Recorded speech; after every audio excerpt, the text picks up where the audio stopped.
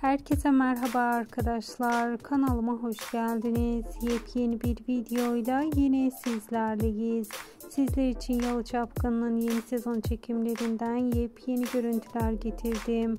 Aldığımız bilgilere göre bugün AVM'de çekim var ve çekimde e, Seyran ve Ferit'in hayatına giren Diyar ve Sinan'ın da çekimleri var. İşte sizler için e, Seyran'ın hayatındaki Sinan'dan ilk kareler videomuzda bulunmaktadır.